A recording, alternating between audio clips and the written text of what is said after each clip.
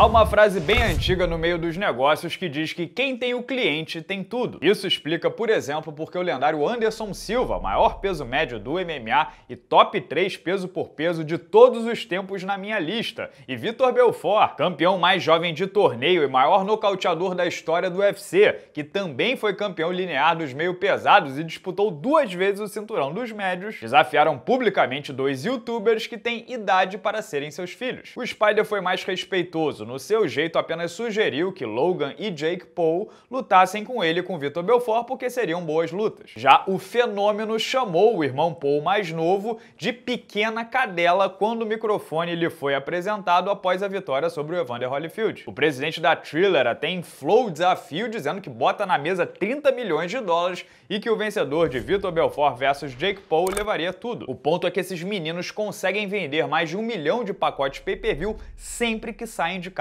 para lutar. E é consistente, porque há uma geração inteira de clientes, de jovens fãs fissurados que comprariam virtualmente qualquer produto ou aventura que esses dois lançarem no mercado. Um dos últimos livros que li se chama 1000 True Fans, do escritor americano Kevin Kelly. Não sei se foi traduzido para o português, mas se chamaria algo como Mil Fãs Verdadeiros. A ideia central é desconstruir a noção de que você precisa de milhares ou milhões de seguidores para faturar uma boa grana. A tese do Kelly que dominando até pequenos nichos e com boa capacidade de venda, com mil fãs verdadeiros, você pode ter receita a ponto de entrar ali para o grupo dos 1% mais ricos. Imagine então quando se chega no patamar desses meninos, com milhões de fãs verdadeiros. A lógica do mundo inverte. É o rapper que quer cantar com você, é a lenda do MMA que te desafia para uma luta e por aí vai. Porque no final das contas, independente de respeito, jornada e o apreço que cada um tem pelo esporte ou pelas artes marciais, se luta por dinheiro. E acho altamente provável que a bolsa do Jake Paul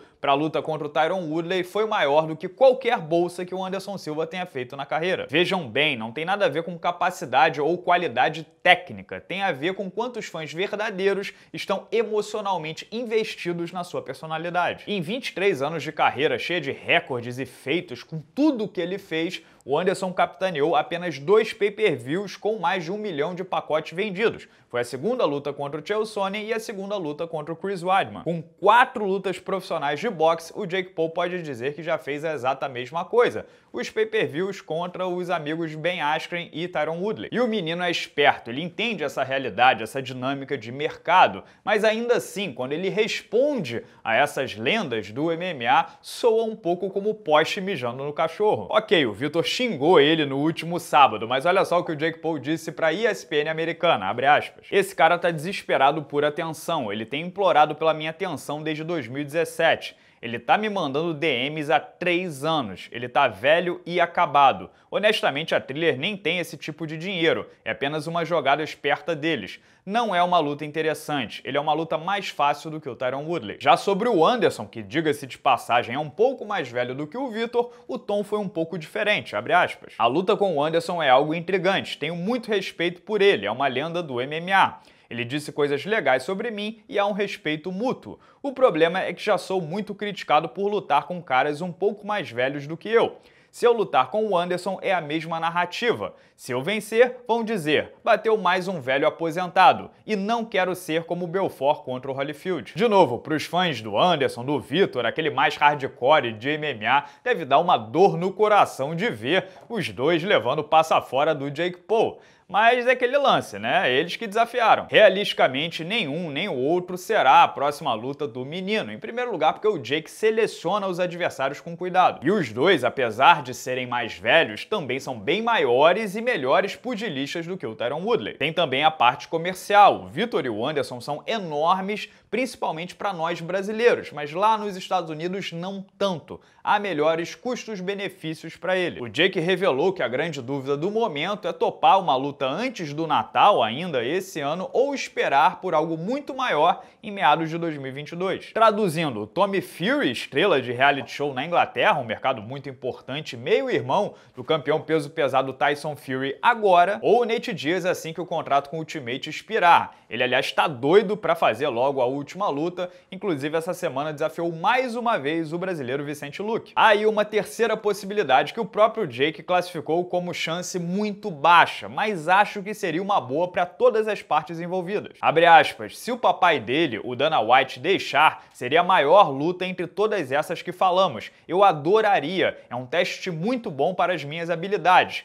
Ele não é o lutador das ruas com ótimas mãos? Sim, ele tá falando do Jorge Masvidal. Eles até treinaram ali por um breve período juntos, né? Mas como o Masvidal apostou publicamente no Tyron Woodley, seu ex-companheiro de American Top Team, eles começaram a tretar. Entendo bem que o Dana White não quer engordar o pato, dar mais munição pro show do Jake Paul, principalmente quando ele tá lutando no Showtime, né? Canal televisivo que lá nos Estados Unidos é a casa do Bellator. Mas pensem comigo, uma forma que ele tem de botar um ponto final, ou pelo menos frear essa aventura do Jake Paul, é contribuindo para uma derrota visceral de preferência do mesmo. E olha só, o Masvidal vai completar 37 anos agora em novembro, e vamos combinar que ele não vai ser mais campeão do Ultimate. Já perdeu duas vezes pro Kamaru Usman. Que tal fazer uma última boa grana com ele e de quebra tentar botar água no chope do garoto? Tipo, Showtime paga 20 milhões de dólares, o UFC e Masvidal dividem, né? Como foi na luta do McGregor com o Floyd Mayweather. Parece que é matar dois coelhos com uma só cajadada. O Jesus das ruas, claro, tá dentro. Abre aspas porque ele disse à ESPN. Eu adoraria quebrar um carinha desses da Disney. O UFC teria que dar o aval. O Dana White não gosta desses caras e sabe que eu vou machucá-los talvez mande um assassino para dar conta do serviço. Vale lembrar que, um, Dana White já mandou o seu melhor lutador e amigo para disputar GP no Pride e tentar provar que o UFC era maior. E dois, ele não cede tickets de primeira fileira ali na coluna dos bilionários para os irmãos Paul irem aos eventos do UFC sem motivo. E claro, esses são apenas os meus dois centavos, o meu ponto de vista. O que vocês acharam aí, em primeiro lugar da resposta do Jake Paul para os brasileiros e depois da possibilidade dele pegar o assassino contratado Jorge Masvidal. Comentem livremente aqui embaixo no vídeo, se inscrevam no canal para não perder nenhuma resenha. Não percam também a minha resenha de ontem, né? Eu falei sobre um campeão olímpico que estava sendo cobiçado por todo mundo, mas acabou mandando uma banana pro UFC. O UFC perdeu o cara numa situação inacreditável. E para entender tudo, é só clicar no link aqui do lado. Beleza? Grande abraço a todos, muito obrigado pela audiência de sempre e até a próxima.